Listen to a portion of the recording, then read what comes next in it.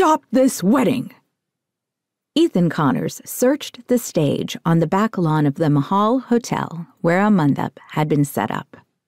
The couple was seated on floor level settees under a pergola like structure in front of a small fire. A priest dressed in loose orange clothing chanted and threw things into the fire, making it crackle and smoke. Ethan wished he'd paid more attention to the wedding sequence the one time he'd been to an Indian wedding with Pooja.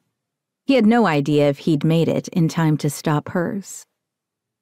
At his outcry, the bride, groom, and the dozen or so people surrounding them looked at him with surprise. The priest froze, and the chatter of the crowd behind Ethan died. He could feel the stares of hundreds of guests on him.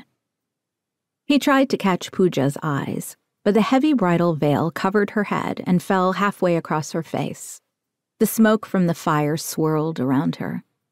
He looked at the older Indian couple seated next to her. Were they Pooja's parents? If the glare they were shooting him was any indication, they were. A knot twisted in his stomach. After six months of dating, including three months of living together, she'd never introduced him to her parents, and he couldn't pick them out based on the pictures he'd seen on her bookshelf. A younger man seated next to the bride stood and made his way to Ethan. I don't know who you are, but you're interrupting my sister's wedding. You best leave quietly before I call security. The man's voice was low and icy.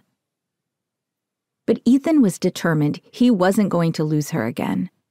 He may have come to his senses in the eleventh hour, but he was going to save himself and Pooja.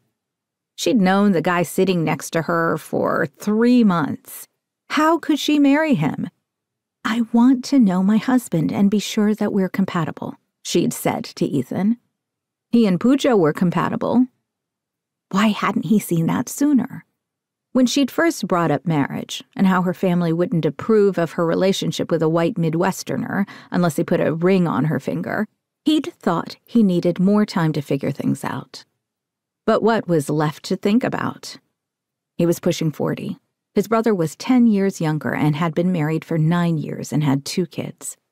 Pooja was the only woman who had deemed him worthy enough to even discuss marriage. He wasn't going to let her get away a second time.